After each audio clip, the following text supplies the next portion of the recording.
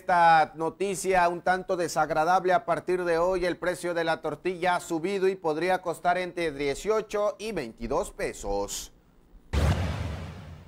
El Instituto de Elecciones está estableciendo ya los lineamientos para liquidar a los partidos políticos que han perdido registro en Chiapas. Para variar, a través de un estudio detectaron las descargas de aguas residuales en humedales de montaña en San Cristóbal de las Casas. Inaugura Rutilio Escandón Cadenas la primera etapa de la ampliación del tramo carretero Langostura Pujiltic. Muy buenos días amigos de TVO Noticias al momento de Cuarto Poder. Nos da mucho gusto saludarlos la mañana de este jueves, primero de julio del 2021. Con el gusto, por supuesto, de siempre para informarle a usted de lo que en las últimas horas se ha convertido en noticia a lo largo y ancho de la geografía chiapaneca. Carlos César, muy buenos días. Arrancamos otro mes. Así es, Adolfo. Buenos días, buenos días a todos. Un placer saludarlos. Es el séptimo mes de este año se está yendo muy rápido. Rapidísimo, Carlos, rapidísimo. Y sobre todo están llegando muy rápido las lluvias también. Bueno, vamos a la información porque el estado de Chiapas cierra el mes de junio con la notificación de 27 contagios de COVID-19 en personas mayores de 20 años de edad y un fallecimiento por esta enfermedad en las últimas horas, informa la Secretaría de Salud del Estado. Los casos recientes se presentaron en los municipios siguientes, Tuxtla Gutiérrez 9, Tapachula 4, Berriozábal y Botocintla, tres casos cada uno, y Cacahuatán, frontera Comalapa, Huehuetán, La Trinitaria, Las Margaritas, Mapas de Tonalá y Villaflores, un contagio cada municipio. Las pruebas salieron positivas en 14 mujeres y 13 hombres. La tercera parte de los pacientes cursa con enfermedades adicionales como hipertensión, diabetes, obesidad, tabaquismo y alcoholismo. Respecto a la defunción, se trata de una persona del sexo femenino de 69 años de edad, habitante de la capital chapareca, quien tenía antecedentes de hipertensión. Y bueno, Carlos César y amigos del auditorio, mira, aquí le presentamos lo que ha ocurrido en las últimas horas en la capital chiapaneca. Le hemos eh, platicado, Carlos, lo que ha ocurrido a lo largo de la semana y bueno, a mí me sorprendió esta lluvia, creo que a muchos en eh, Tuxtla Gutiérrez al despertar, pues prácticamente me entero de que había ocurrido una fuerte lluvia en Tuxtla Gutiérrez que dejó algunos eh, percances importantes y que se lo comento con mucho gusto. Las imágenes que usted ve en pantalla fue lo que eh, captaron algunos eh, ciudadanos después de la intensa lluvia. El reporte lo da el Sistema Estatal de Protección Civil. Hablamos de un reporte preliminar sobre las eh, lluvias de las últimas horas que ocurrieron en Tuxtla Gutiérrez, pues obligó a personal de protección civil de la ciudad y a bomberos a dar atención a la población ante el reporte del desbordamiento de los arroyos 24 de junio, Santana y Potinaspac. Es decir, fueron tan intensas las lluvias de las últimas horas en Tuxtla Gutiérrez que se desbordaron tres arroyos.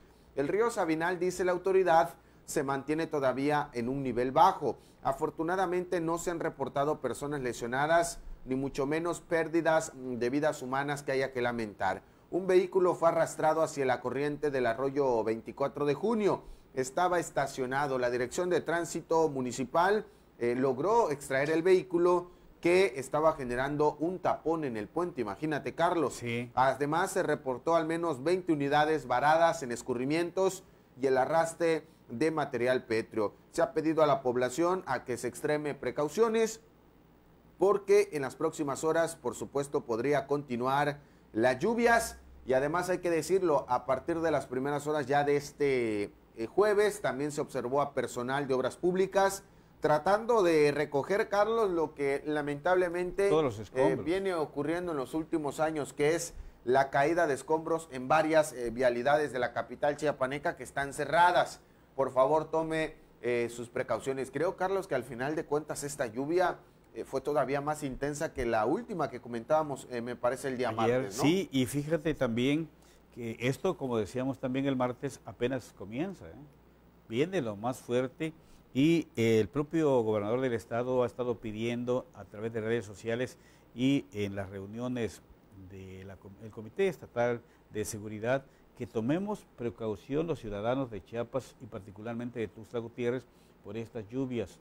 No hay que ser imprudentes. Si la corriente está fuerte, el agua lleva fuerza. Por si y hay gente que quiere meterse. Por si tiene duda la gente, esta imagen que nos mostraba hace unos instantes la producción, nos permite entender la fuerza de la naturaleza. Imagínate esta imagen, esta que está en estos momentos en pantalla, donde esta unidad es arrastrada y por azares del destino cae en este puente y estaba provocando un tapón, es decir, que el agua, lejos de que fluyera, además de que el mismo cauce ya estaba rebalsado, pues seguía saliendo con más intensidad hacia las laterales. Imagínate esta imagen sorprende. Oye, y afortunadamente estaba estacionado el vehículo, no estaba el propietario a bordo, como que lo dejó en su casa o en algún lugar y pasó la corriente y se lo llevó.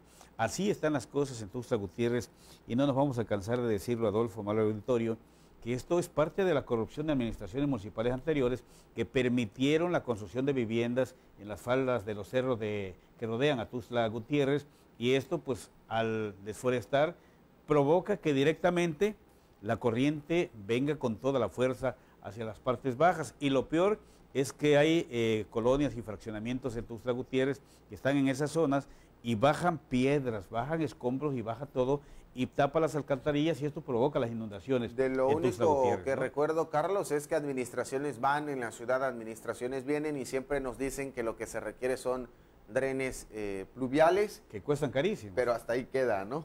Hasta ahí nada más. Bueno, vamos a más información. Ahora esto que nos presenta nuestro compañero William Chacón con el tema de la afluencia en el proceso de vacunación entre las personas mayores de 40 años.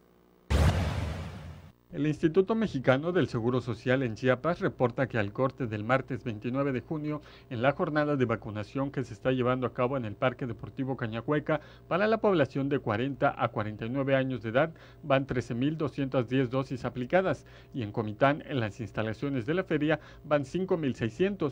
De acuerdo al Instituto de Salud, se aplicarán alrededor de 70.000 dosis en esta primera etapa, solo en la ciudad capital en este punto, con el biológico AstraZeneca, que tiene más del 60% de efectividad en la protección contra el COVID-19, según se ha reportado.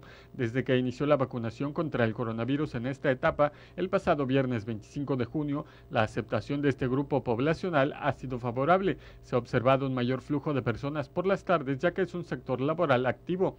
Además, se ha registrado un porcentaje porcentaje muy bajo de personas de entre 50 y 59 años, mayores de 65 y mujeres embarazadas que no se habían vacunado en las fechas que les correspondían por diversos motivos, pero que todavía pueden hacerlo.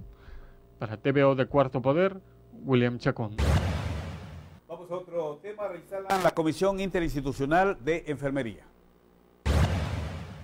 María Isabel Romero Ochoa, coordinadora estatal de enfermería de la Secretaría de Salud, dio a conocer que recientemente se llevó a cabo la reinstalación de la Comisión Interinstitucional de Enfermería en Chiapas, un órgano consultivo que establece las directrices en lo que respecta a la práctica de enfermería en el Estado. El gremio de enfermería representa casi el 50% del total de los profesionales de la salud, por lo que se considera como la columna vertebral del sistema de salud. De acuerdo al Colegio de Enfermeras del Estado, son alrededor de 9.000 enfermeras las que laboran en todo el territorio estatal, de las cuales se estima que solo un 5% han sido certificadas por las instancias correspondientes. La coordinadora señaló que esto va generando, de acuerdo a la situación epidemiológica, las principales aportaciones que debe hacer el gremio de enfermería para regular y favorecer la atención de los pacientes respondiendo a sus necesidades.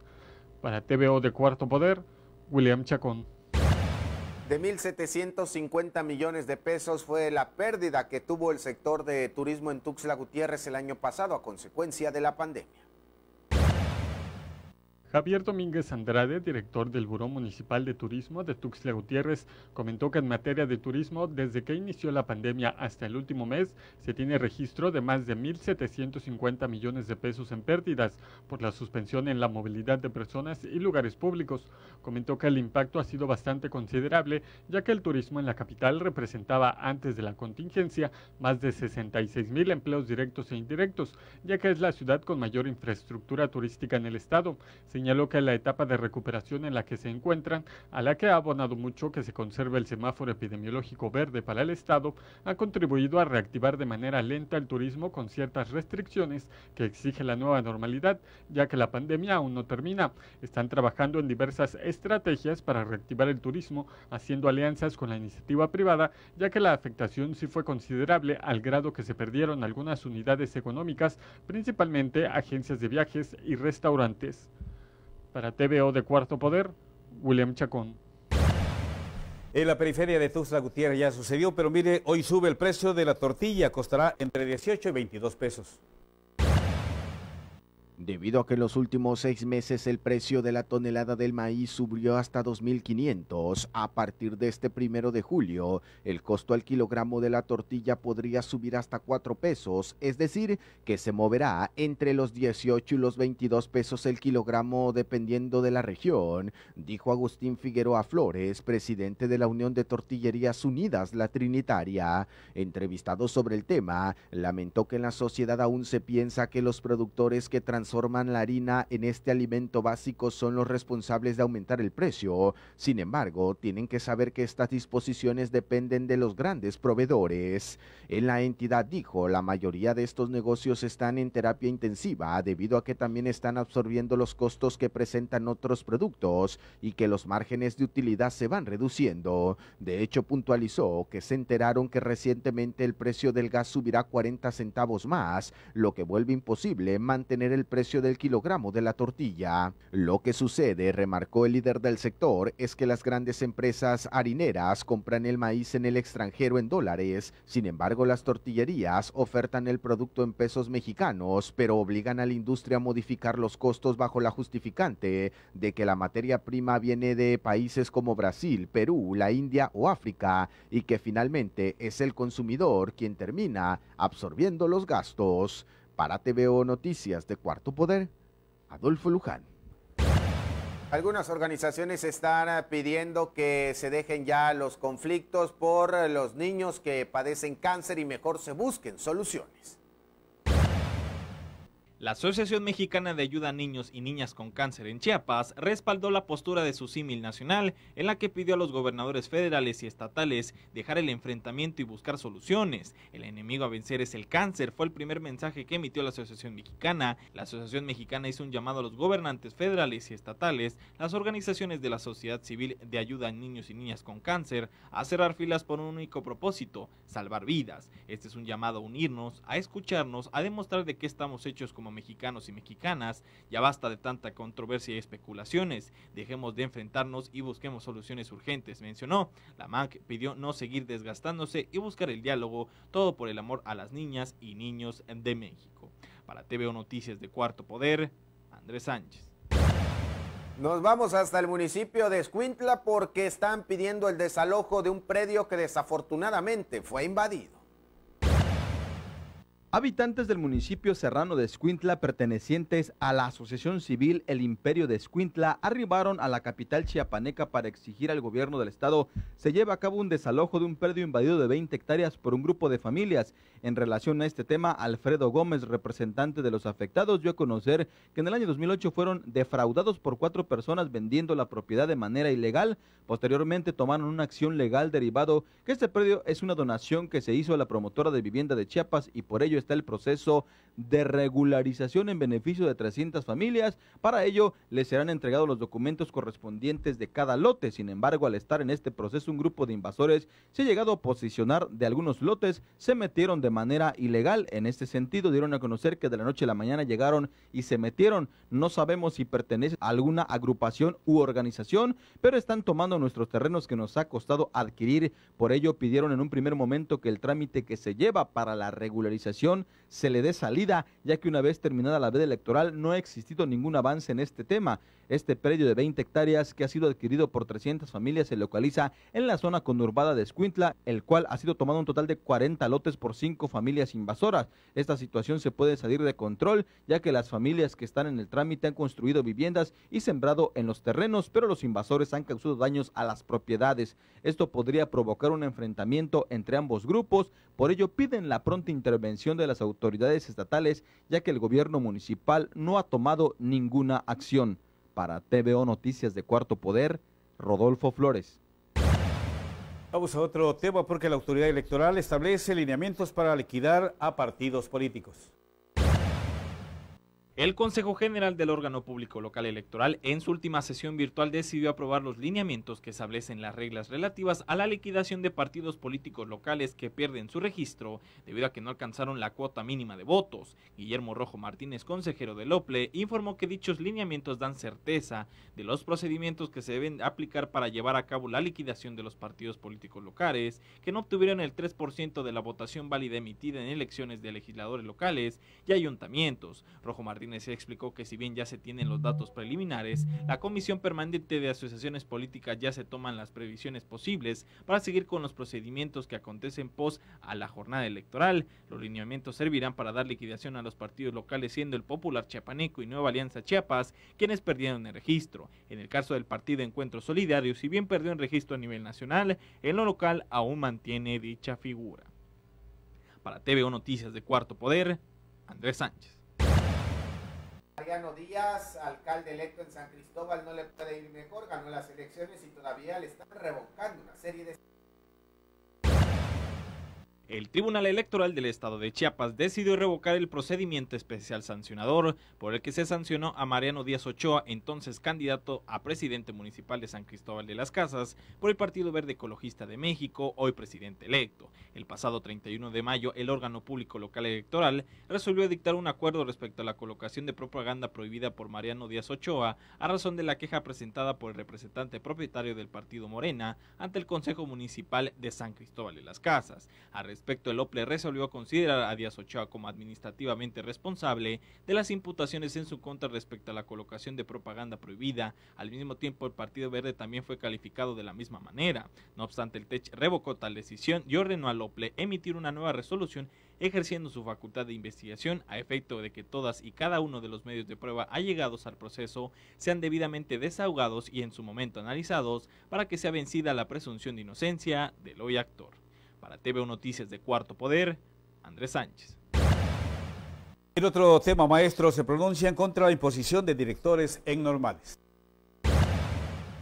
Representantes de la sección 40 del Sindicato Nacional de Trabajadores de la Educación aseguran que no permitirán la imposición de directores en las escuelas normales del Estado, tal como pretenden las autoridades educativas violentando el reglamento general de las escuelas normales del Estado de Chiapas. Este miércoles, docentes de escuelas normales del estado de Chiapas acusaron que actualmente se están tratando de imponer a personas externas a estas instituciones, violando con ello la convocatoria para el cambio de directores tal como se establece en el diario oficial de la federación. En este contexto dieron a conocer que en este supuesto proceso no se respetó los lineamientos ni los proyectos presentados por los interesados en ocupar estos cargos. Es por ello que esta acción afectará la armonía y el desempeño de las instituciones, ya que un directivo externo no conoce la institución, el sistema, a los maestros, así como al mismo alumnado, lo que traerá repercusiones a las mismas. Víctor Manuel Rodríguez Hidalgo, secretario de Trabajo y Conflictos de la sección 40 del CENTE, expuso que la responsable directa de esa situación es la secretaria de Educación Rosaide Domínguez Ochoa y el subdirector de Educación Media Superior del Estado. Esa situación se está repitiendo en las escuelas licenciado Manuel Larrainzar y la ENLEP Berta von Glumer y Leiva, que es uno de los casos más críticos. Esa situación es terrible para las escuelas normales de Chiapas. Se trata de una imposición de personas que no podrían realizar un diagnóstico para tener buenos resultados. Agregó que lo que nosotros estamos solicitando es una mesa de trabajo con las autoridades educativas para definir la situación y así discutir el tema. No está mal pedir esta mesa de trabajo. Nosotros necesitamos que se nos explique en un primer momento por qué no se aceptaron las solicitudes de los compañeros. En este contexto pidieron la intervención del gobierno del estado para dar una solución inmediata. De lo contrario, harán valer los recursos legales ante estas acciones irregulares que dañan la integridad de estas instituciones. Para TVO Noticias de Cuarto Poder, Rodolfo Flores. Y vamos a más información. Mire, se dispararon en 164% los robos a casa habitación. De acuerdo con el Observatorio Ciudadano de Chiapas, en los 12 meses después de las medidas de confinamiento generadas por la pandemia del coronavirus, se detectó que el delito de robo a casa habitación registró un aumento interanual superior al 164% de los que se venían reportando en meses anteriores. En la información mensual que se actualiza sobre el impacto de 17 delitos en la entidad, se informó que en una semana, solamente en el mes de mayo, se presentaron 12 homicidios dolosos y 18 culposos. Se le suman 23 robos con violencia y 33 extracciones ilegales de vehículos. En el reporte mensual se detalló que en la sección de violencia de género es alarmante el número de registros por feminicidio durante el mes de mayo, el cual ha sido la cifra mensual más alta en los últimos cinco años. En lo que va de este 2021 se han registrado ya 24 víctimas por este delito. Para TVO Noticias de Cuarto Poder, Adolfo Luján. Allá en San Cristóbal de las Casas detectan descargas de aguas residuales en los humedales. Los humedales de montaña Laquis y María Eugenia, que se ubican en San Cristóbal de las Casas y que son ecosistemas que se encuentran amenazados, todavía enfrentan un problema serio con las invasiones y el relleno de material pétreo, lo que pone en riesgo a las especies endémicas del lugar y también complica el suministro de agua que requieren los pobladores, advirtió Pedro Sánchez Montero, director de Áreas Naturales y Vidas Silvestres en la Secretaría de Medio Ambiente e Historia Natural. Sin embargo, refirió que esta problemática social se está atendiendo por parte de la dependencia estatal junto a otros especialistas, donde hicieron un diagnóstico de toda la información y las condiciones del sitio. Es importante señalar que con estos estudios también se logró identificar las extracciones de agua que se hacen de manera irregular, inclusive se identificó que hay zonas y drenajes que terminan por distribuir aguas residuales en estos humedales. Para TVO Noticias de Cuarto Poder, Adolfo Luján. Mire esta historia que nos mandan nuestros compañeros. Amenazan a una mujer con despojarla de su patrimonio. Le comparto la siguiente información y es que una mujer de la tercera edad solicitó el apoyo de las autoridades por una serie de amenazas de muerte de las que ha sido objeto por dos sujetos quienes intentan despojarla de su propiedad. Se trata de Marruca Rodríguez López, de 70 años, originaria de la eh, comunidad Pulsimbac del municipio de Mitontic, ubicada en la región Altos del estado de Chiapas.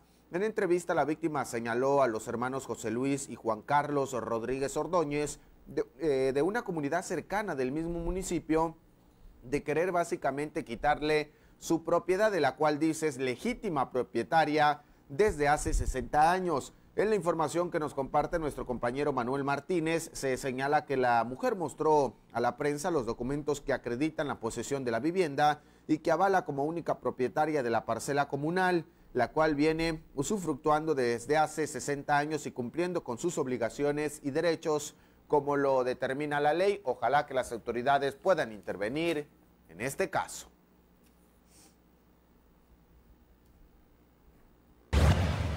Vamos a más información, nos vamos hasta el Senado de la República con lo que dice el presidente de la mesa directiva, Eduardo Ramírez Aguilar. Le comparto la siguiente información. Eduardo Ramírez Aguilar, presidente del Senado de la República, destacó la importancia de la profesionalización de la locución, toda vez que las y los locutores tienen la enorme responsabilidad de generar discusión y opinión pública de la sociedad, de informar y de ser voz en los medios de comunicación durante la ceremonia de titulación de la primera generación de la licenciatura en locución de la Universidad Ejecutiva del Estado de México. Ramírez Aguilar dijo que esta es una profesión que debe ejercerse con sentido social y ético. En el evento que se llevó a cabo en el patio central de Chicotencal, el legislador chiapaneco señaló que es fundamental formar a mexicanas y mexicanos que cuenten con un conocimiento que les permita ayudar a la gente y al progreso de México. Otra información, inaugura Rutilio Escandón Cadenas la primera etapa de la ampliación del tramo carretero Langostura-Pujiltic. El gobernador Rutilio Escandón Cadenas inauguró la primera etapa de la ampliación del tramo carretero Langostura Pujiltic en el municipio de Vicino Carranza, la cual responde a una demanda añeja y sentida no solo de ese municipio, sino de ejidos, comunidades y rancherías de toda la región de los llanos. Luego de reconocer el compromiso de quienes estuvieron a cargo de esta construcción de 12 kilómetros, pues se hizo de manera eficiente en menos tiempo del programado, lo que permitirá avanzar en la segunda etapa. El mandatario señaló que esta carretera beneficiará a miles de personas que necesitan trasladar sus productos, dirigirse a sus centros escolares o de trabajo, así como al turismo local, nacional y extranjero. En este sentido, destacó que se continuará impulsando obras que favorezcan a todos los chiapanecos, como se hizo con la ampliación del Aeropuerto Internacional Ángel Albino Corso, donde también se construirá un hangar de carga y se pretende edificar una terminal de corto recorrido. Escandón Cadenas hizo un llamado respetuoso a las organizaciones campesinas de esta región a participar en las mesas de diálogo, las cuales se encuentran abiertas de manera permanente a fin de atender y solucionar cualquier diferencia o conflicto, a fin de aprovechar los programas y apoyos para el bienestar y sobre todo contribuir a una convivencia fraternal y de respeto entre hermanos. Sostuvo que los bloqueos carreteros y los enfrentamientos únicamente retrasan el progreso de los pueblos y comunidades, al tiempo de exhortar a la unidad para acabar con las malas prácticas y avanzar hacia la construcción de un mejor porvenir. Si nos peleamos, los recursos se gastan en resolver conflictos, pero si caminamos juntos, los recursos se invierten en beneficio de la gente, dijo el mandatario allá en su tierra natal. Jueves primero de julio, déjame decirte, Adolfo, que al ratito va a haber un desayuno acá, invitado por la producción. Ah, ¿Qué se les antoja desayunar? ¿Un chicharroncito o no? A ver qué dice Con el esta ingeniero lluvia, Juan don Carlos. Marco dice que quiere carnita, chorizo y chistorra. Excelente. Bueno, es que hoy estamos cumpliendo nueve años Sí, con por TVO, supuesto. eh, Cuarto Poder. Nueve años ya, parece mentira. Eh, sí. ¿Perdón? ¿Ah, también Día del Ingeniero? Bueno, ingeniero Oscar Marina y todos ellos, un saludo. Nuestros amigos ingenieros, el Inge Armando.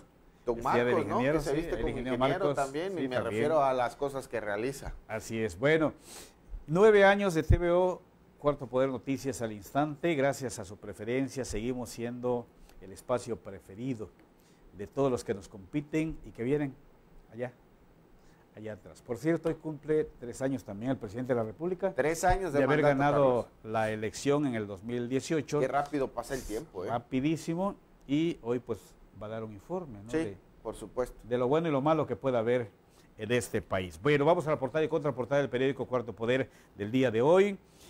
Ya le decíamos, inaugura el gobernador Otilio Escandón Cadenas la primera etapa del tramo carretero La Angostura Pujiltic. Sube el precio de la tortilla, costará hasta 22 pesos. Impulso a la campaña de vacunación en la comunidad hispana allá en Florida, en los Estados Unidos. Instalan la comisión permanente del Congreso del Estado. Cinco alcaldes piden licencia. Importante profesionalizar a la locución, dice el senador Eduardo Ramírez Aguilar. Campeche regresa a semáforo naranja. ¿Quién iba a decirlo? Tiene problemas de rebrote de COVID.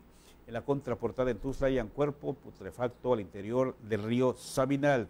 Y la recomendación de la Secretaría de Protección Civil para que usted antes de salir, revise bien el estado de su automóvil, asegúrese de que todos usen el cinturón de seguridad, respetar los señalamientos viales, evitar manejar cansado y si toma, no maneje.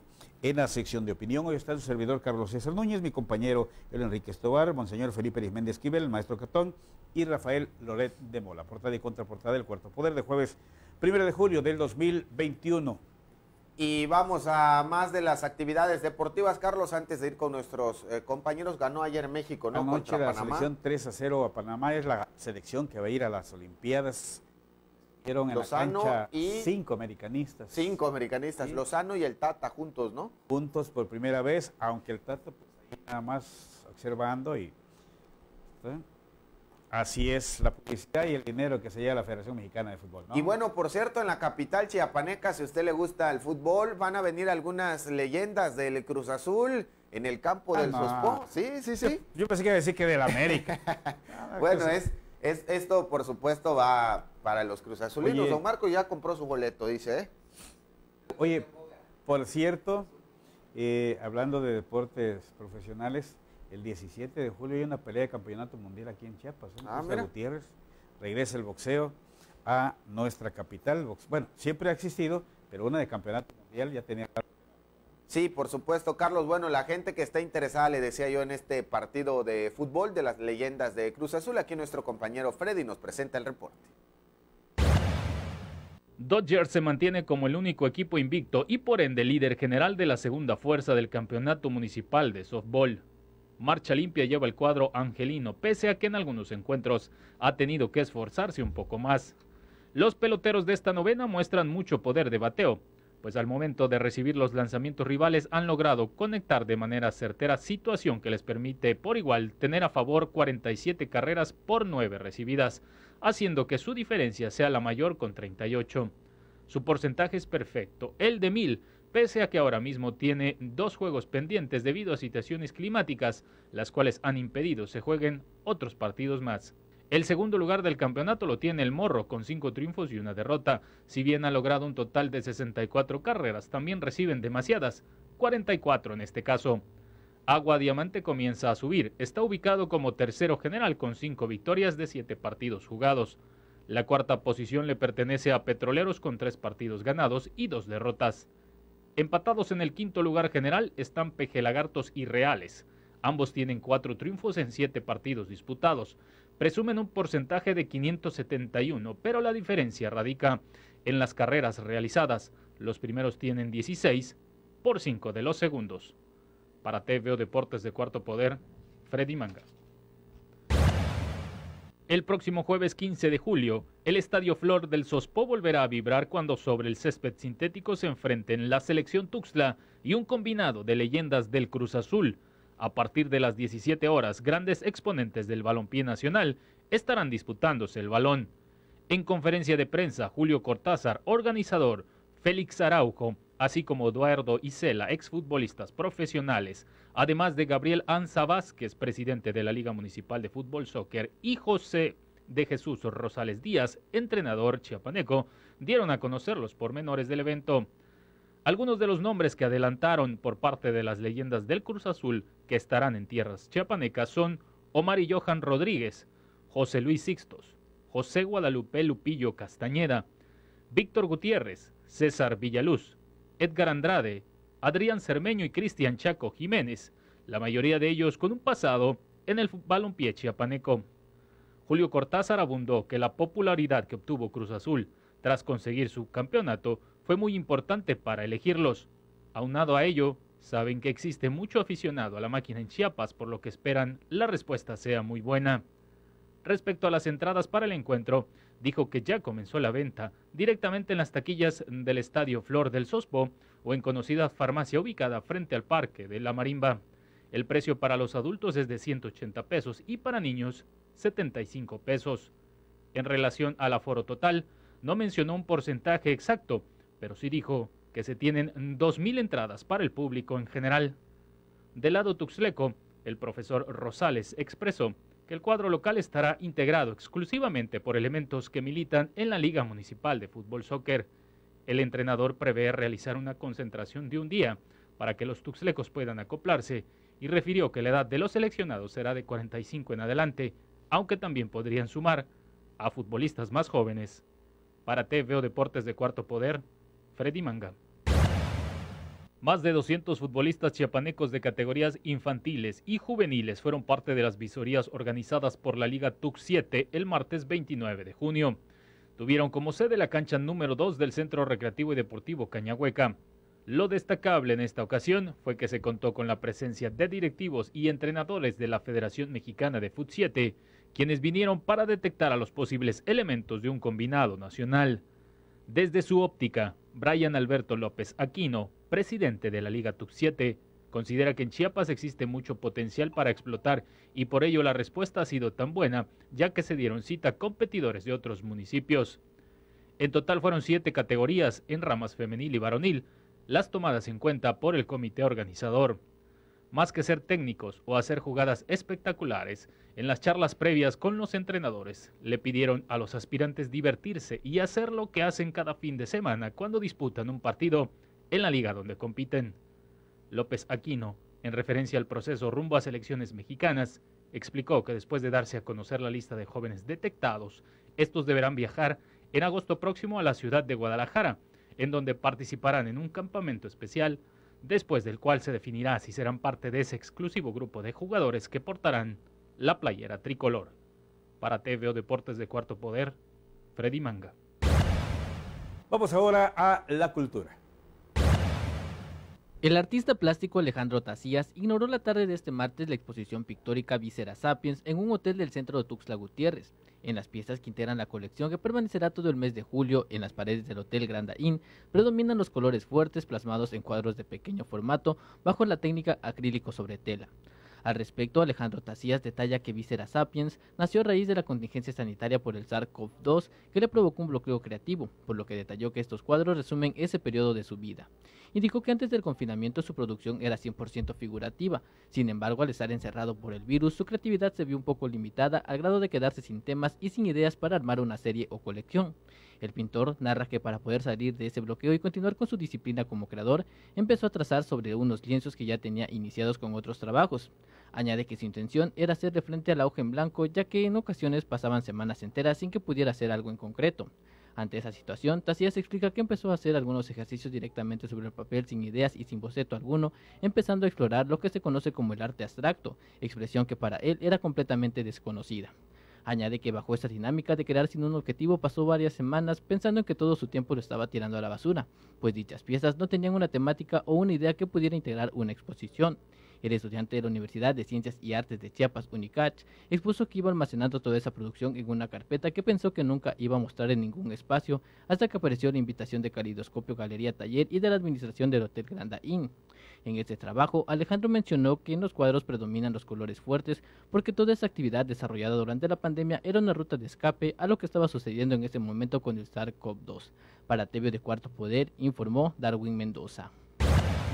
El mapa de Chiapas aparece hoy en tres colores, color azul, color verde y color amarillo. La parte en azul nos indica lluvias fuertes de 0.1 a 50 milímetros y se va a registrar en las regiones Altos Oxil Celtal, eh, Metropolitana y de los Llanos, mientras que la parte en verde indica lluvias muy fuertes de 50 a 75 milímetros y se va a registrar en las regiones norte, Mezcalapa, Vallesoque, la zona frailescana, Ismo Costa, Meseta, Comiteca, Tojolabal, Sierra Mariscal, y la zona del Soconusco, mientras que la parte en amarillo indica lluvias intensas de 75 a 150 milímetros y se va a registrar en la región Maya, Turijas el Talchol y la selva Lacandona. Sobre el sur y sureste mexicano continuará dominando una amplia zona de tiempo inestable asociado a la combinación de una amplia y profunda vaguada sobre el Golfo de México, así como la cercanía de la zona de convergencia intertropical y el paso de la onda tropical número 7, por lo que prevalecerán condiciones de tiempo inestable con lluvias muy fuertes y aisladas intensas sobre los cuatro estados de mención. Tome sus precauciones porque hay muchas lluvias en municipios y regiones de Chiapas. Y bueno, con eso llegamos a la conclusión de esta primera emisión a nombre de todo el equipo, nuestros compañeros Marcos Osorio en los sistemas informativos, el ingeniero Armando Barrientos en la edición, Alex Orozco, Fanny Guadalupe en la realización, el ingeniero Juan Carlos. Carlos César, gracias. Buenos días. Gracias a ti, Adolfo. Gracias también a quienes nos ven a través de TV3 Cable Next en Suchiapa y Canal 20 Cable Ilusión en Teopisca. Y usted que nos hace el favor de acompañarnos. Gracias, buenos días. Hasta mañana.